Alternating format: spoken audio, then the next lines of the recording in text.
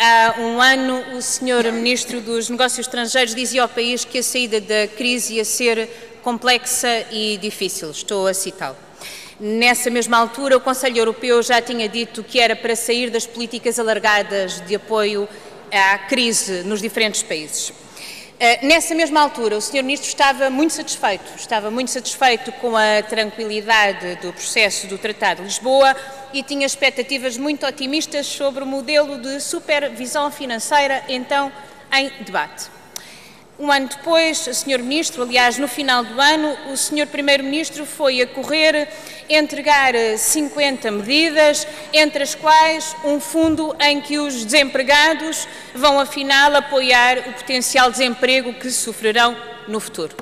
Um ano depois, Sr. Ministro, o Tratado de Lisboa foi revisto a jeito da Alemanha.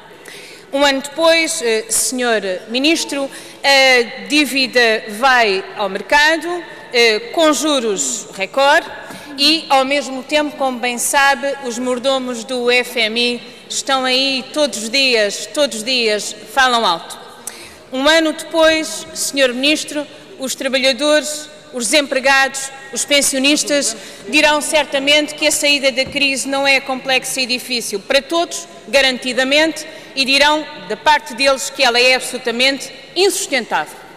Esta é por isso a hora de o seu governo explicar claramente ao país porque é que hipotecou as opções políticas que deveriam ser feitas no âmbito da discussão orçamental, no âmbito do semestre europeu. É a altura de assumir responsabilidade desta hipoteca da democracia e da responsabilidade que deve ser pedida ao seu governo e não certamente e não certamente aos poderes que estão lá fora.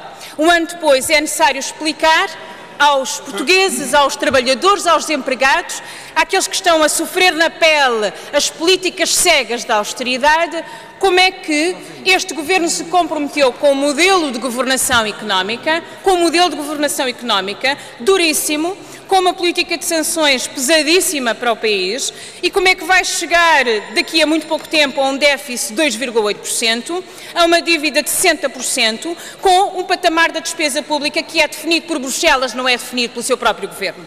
Esta é a oportunidade de explicar como é que este governo se mantém tão silencioso perante estas opções de fundo que põem em causa o futuro do nosso país, Sr. Ministro. Muito obrigada pela sua atenção.